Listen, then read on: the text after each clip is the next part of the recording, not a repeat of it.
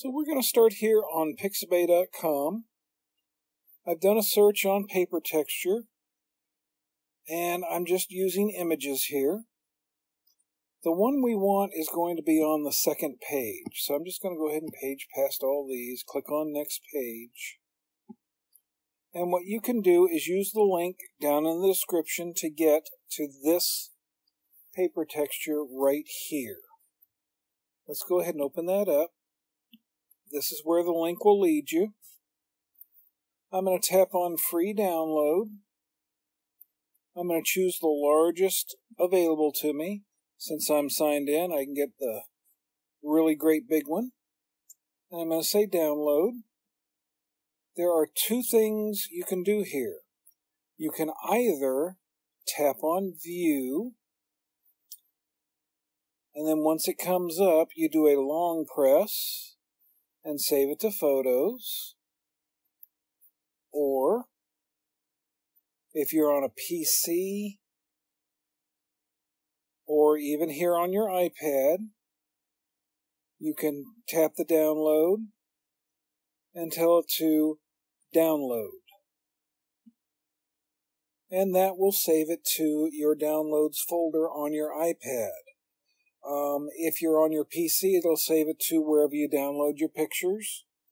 And you can then transfer that over to your Dropbox or your iCloud or wherever it is you share your files with for your Procreate. Now let's go into Procreate.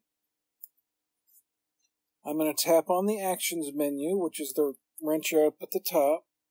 Let's go over to Canvas and Canvas Information. As you can see, I have a square canvas, 2048 by 2048, 300 dpi, and this is an sRGB profile. So let's go to the Add menu under Actions. I'm going to say Insert a File, and we'll go to Downloads. Let's go down to the P's because this is a paper texture. We'll tap on that, and it imports it into here. Now I'm going to change this transform from uniform to freeform. That's right here. And that allows me to stretch this up and down using the center blue dots. Here's the one up at the top. I'm just going to drag that up, not quite to the edge, just so it stretches things out a bit. Now I'm going to tap on snapping, which is right here, I'm going to make sure that the magnetics is on. With magnetics on, when you tap on Fit to Canvas, third from the right, which is here, it'll stretch it out like this. And you get a nice perfectly square whatever's left. So we'll tap on the transform arrow again, right up here at the top. And then I'm going to go to this magic wand right here, which is the adjustments menu. I'm going to go to hue, saturation, and brightness. And I'm going to desaturate it. That's right here in the middle. We go from 50% all the way down to none. Tap on the actions menu again. And here is your grayscale image. We'll tap on layer 1 and choose copy. It's third from the top. I will create a new layer and I will turn this layer off. I'm going to start up a new brush. I'm in my paper textures here. We'll tap on the plus sign.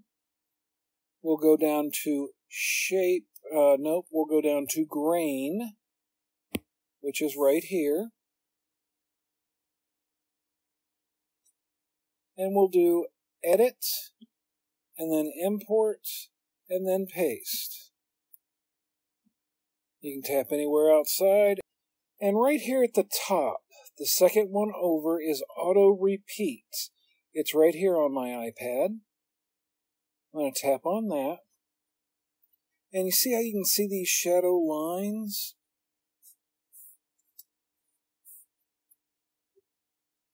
I've got my border overlap as high as it'll go. I'm going to tap on mirror overlap and that will help. Let's increase the grain scale and see how that starts making it disappear even more. And there we go. I'm at 2.9 and you can't tell that there is a seam on here at all. We will tap on done and it will create the texture. Now that the texture is created, let's go to rendering. And instead of intense glaze on rendering, we're going to go to light glaze.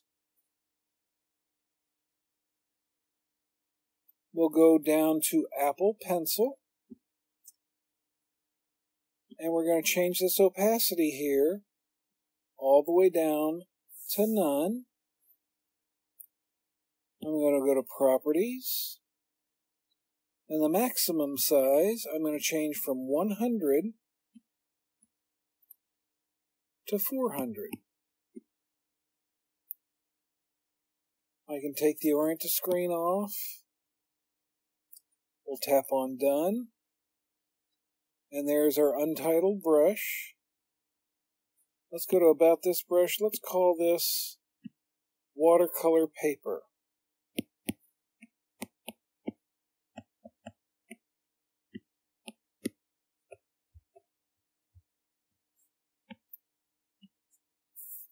And there we go. Um, as you can see, I did it here. I didn't title it, but I was just testing things out. Let's go to properties. Yes, we want to go to properties. I'm going to use a stamp preview and tab done, and that gives us that little circle there. Let's increase the size to 50. See how that looks? That looks nice to me. And this allows you to paint across the paper this way. And you get a nice little paper texture. Let's go all the way up.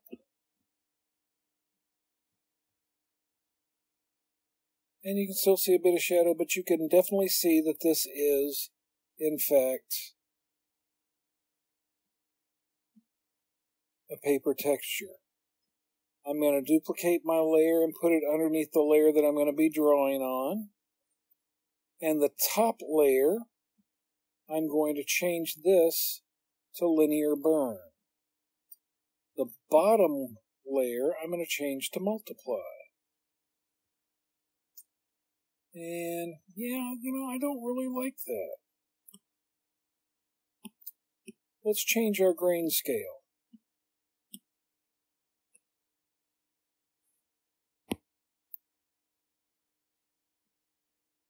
Let's really get this up here. Let's make it like that. And see how that paints in. That looks better to me.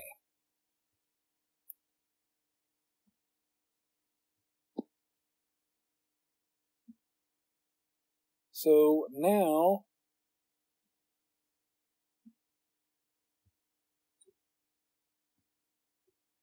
you can go onto your layer 2 and draw whatever you want. And the next brush that we're going to be creating is this watercolor wash 2. Let's choose a different color. Oh, let's go for a blue. That's a nice color. And the joy of this is the paper texture is going to show through your colors.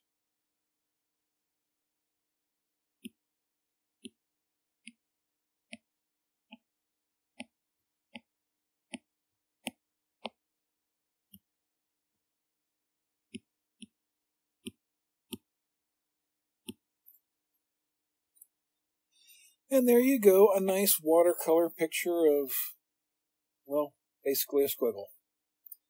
So the next brush we'll be creating will be the watercolor brush. I hope this helps you out, and I hope you have a wonderful day.